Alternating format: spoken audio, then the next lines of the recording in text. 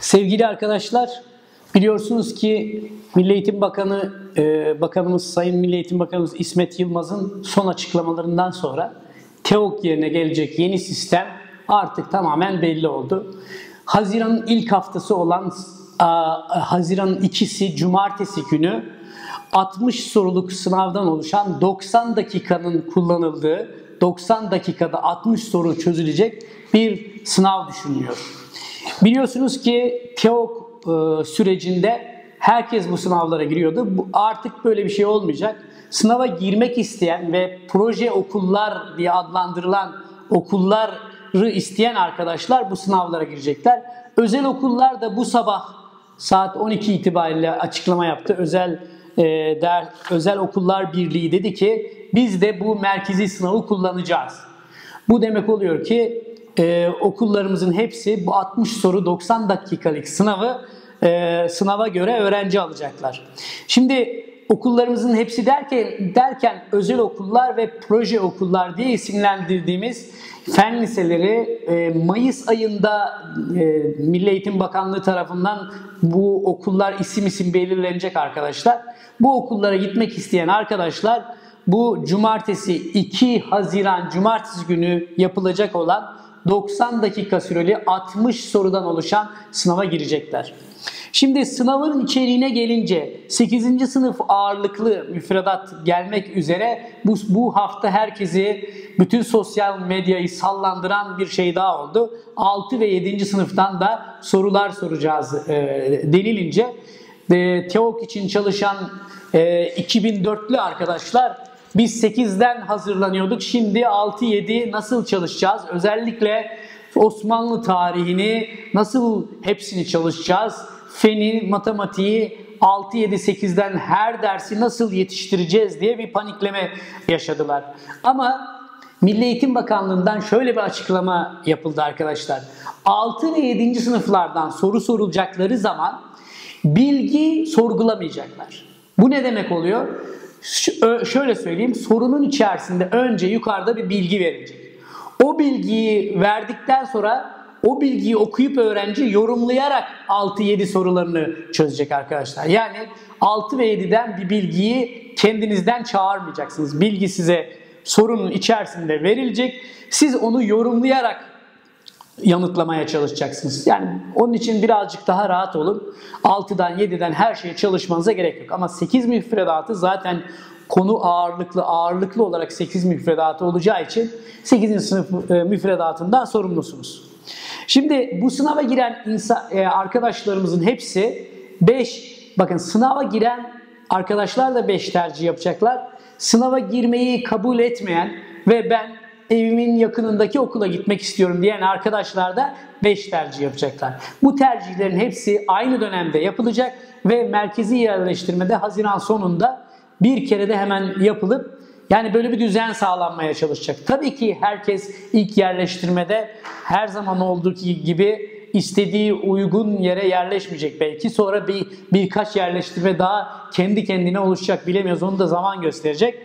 Ama sonuç olarak kurgu bu şekilde. 60 soruluk bir sınav var. Bu sınavın içeriğinde kaç soru hangi dersten gelecek kesin bir bilgi verilmedi.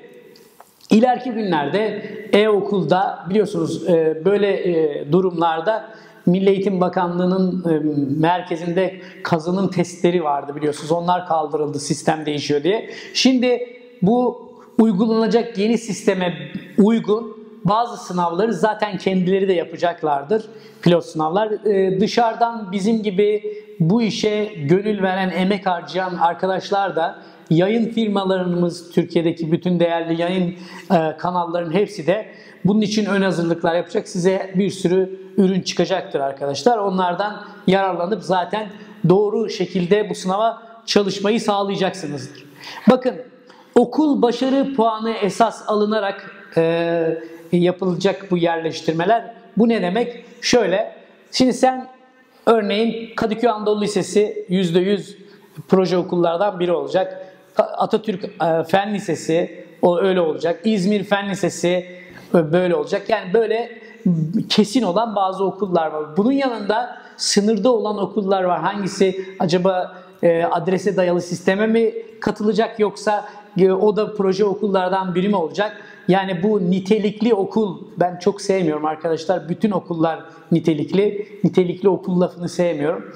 Ama e, A grubu okullar, B grubu okullar diyebilirsiniz. E, bu şekilde sınavla e, alacak okullar listesi Mayıs ayında bildirilecek. O sınavla o okullara gitmek istiyorsanız bu sınava gireceksiniz. 90 dakikada 60 soru yanıtlayacaksınız. Ondan sonra da buradan aldığınız puanla birlikte yine diploma notlarınız etki edecek ve bir puan oluşacak. O puan ışığında da 5 tane tercih yapacaksınız. E okula gitmek girmek istemiyorum bu okullara. Ben proje okul falan istemiyorum. Evime yakın çok güzel okullar var. Onları tercih ediyorum diyorsan o zaman yine 5 tercih yapacaksın.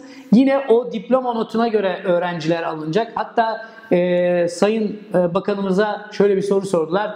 O bölgede 70 tane e, sandalye var. Oku ama 100 kişi başvurdu. Ne olacak bu çocuklara dendi. E, bakanımız da dedi ki biz diploma notuna göre sıralayacağız. İşte diploma notu yüksekten aşağı doğru yani bu e, okul başarı puanı esas alınarak yukarıdan aşağıya doğru çocuklar sıralanacak. Geri kalan 30 çocuk da o zaman biraz daha e, uzaktaki bir okula gidecek. Hani böylece okulların seviyeleri yükselecek e, diye bir açıklama yaptı. Bakın Türkiye genelinde 17.749 tane ortaokul var ve bu 17.749 ortaokulundan yaklaşık olarak 1 milyon 200 bin öğrenci var. Arkadaşlar TEOK kalktı bu çocukların hepsi artık sınava girmiyor. Bu iyi bir şey. Ama bunun yanında siz bu söylediğimiz proje okullara girmek istiyorsanız bu sınav olayından kaçamıyorsunuz. Mecbur bu sınava gireceksiniz. Merkezi olan 60 soruluk 90 dakikalık sınava gireceksiniz ki istediğiniz okulları kazanma şansınız olsun. Bunun yanında lise, Türkiye genelinde kaç tane lise varmış? Türkiye genelinde bakanımızın ağzından 11.057 lise var dedi, dendi. 11.057 tane de çeşitli meslek lisesi, Anadolu Lisesi, işte e, Fen Lisesi, Özel Lise adı altında 11.057 tane de lise varmış. Arkadaşlar yeni sistemin ismi LKS yani liselere kayıt sistemi arkadaşlar yeni isim bu. Liselere kayıt sistemine göre e, sınav da bu şekilde olacak ve 2 Haziran 2018'de Cumartesi günü ilk defa uygulanacak. Bu e, bu sınav içerisinde kaç soru Türkçe, kaç soru matematik bilmiyoruz ama şunu biliyoruz. Sayısal ve sözel olarak iki bölüme ayrılacak. 30 soru 30 soru şeklinde bunun içerisinde e, sıralanacaktır. Ben şimdi hani e, hani aşağı yukarı tahminlerimiz var ama bu tahminleri herkes yapacak. Gerçeği beklemek e, daha mantıklı geliyor bana. Hani aşağı yukarı biliyoruz. Biz de denemeler yapıyoruz. Ee, ille de bana sayı sormamı istiyorsanız altına yorum yazın. Ondan sonra belki öyle bir sayı paylaşımı yaparız. Arkadaşlar son durum bu. Özel Okullar Derneği de bu sene bu merkezi sınavla özel okulların da öğrencileri bu merkezi sınavla alacağını söylediler. Son durum bu şekilde. Bir sonraki videoda yeni bilgilerle karşılaşmak üzere. Sevgiler.